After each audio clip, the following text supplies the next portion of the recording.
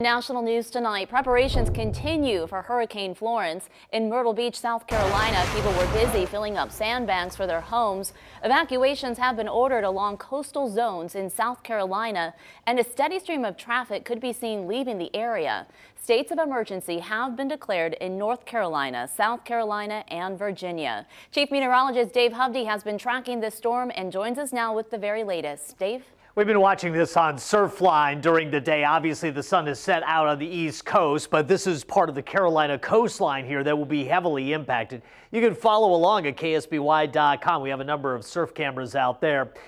This is the concerning news. Winds are still 140. The system is trucking off to the west here at 17 miles per hour. It's actually closer to Bermuda than the U.S. right now, but the track hasn't changed and still a major concern for North Carolina, South Carolina, and the Virginias. Likely going to make a landfall a little bit later now than we were thinking earlier. So it really looks like Friday morning moving into Saturday, this system is going to just slam the Carolinas. It's not going to move quickly. So here's some of the problems. If you get a category one, you get some minimal damage along the coastline, but things go up quickly from there.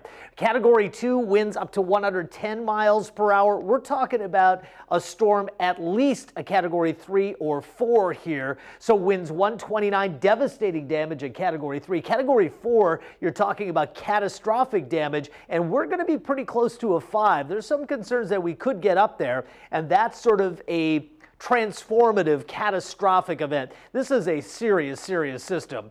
We're talking about not only major rain and all that wind, but also storm surge flooding. We could see flooding up to nine feet above ground in some of these inlet valleys here you can see.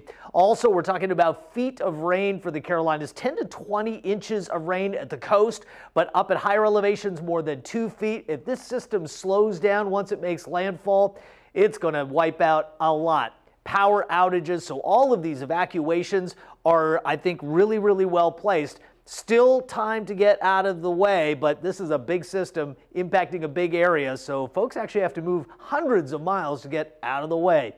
Kathy, back to you.